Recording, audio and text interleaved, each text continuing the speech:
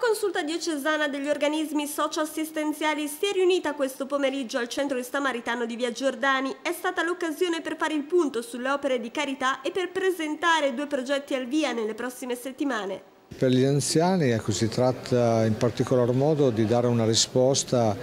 a Piacenza che ha una lista di, di attesa di persone che eh, vorrebbero entrare in strutture eh, ma non non c'è posto, eh, posti convenzionati e quindi eh, con la collaborazione della consulta, del comune e della fondazione eh, si darebbe la possibilità a 25 di queste persone di entrare in strutture a,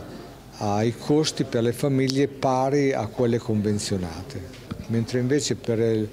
il disagio adulto si tratterebbe di, di sperimentare un po' l'incontro tra la domanda e l'offerta di lavoro, cioè attraverso piccoli lavoretti di tinteggiatura, di sistemazione delle case. Presente oggi anche il vescovo Monsignor Gianni Ambrosio che ha parlato del cammino verso il prossimo convegno nazionale della Chiesa che si terrà a Firenze. Il convegno di Firenze vuole essere un segno di una vita nuova, di una vita rinnovata per eh, la Chiesa in primo luogo